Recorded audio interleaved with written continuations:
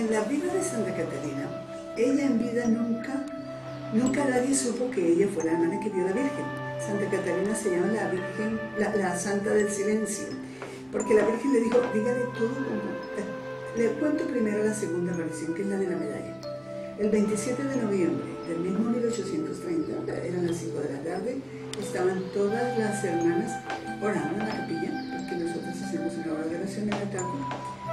Eran 108 novicias, y ella sola dice que de pronto volvió a sentir el ruido del vestido de seda que se acercaba y la vio parada, entera, con un vestido blanco, el globo en las manos, y globo tenía una cruz encima.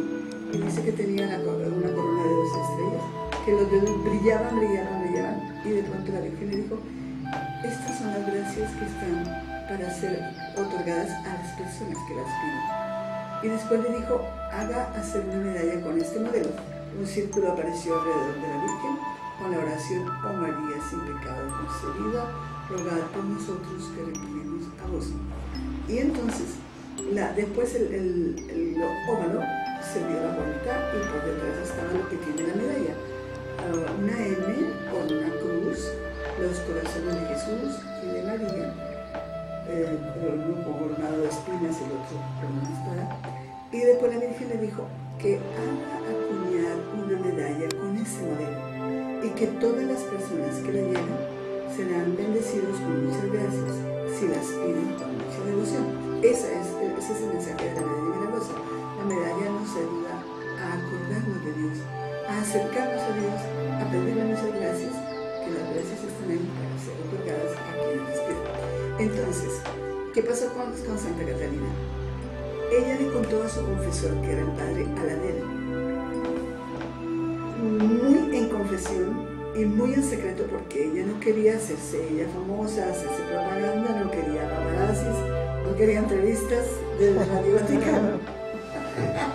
y entonces quería que todo fuera en silencio para que lo que se conozca es el mensaje de la Virgen. Así que Catalina vivió 46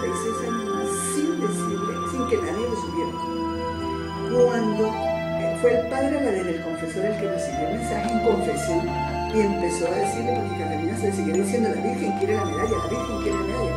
Y a los dos años, en 1832, se acuñaron las primeras medallas. Y en eso hubo una peste terrible, que hubo 20.000 muertos de, muertos de aquí en, París.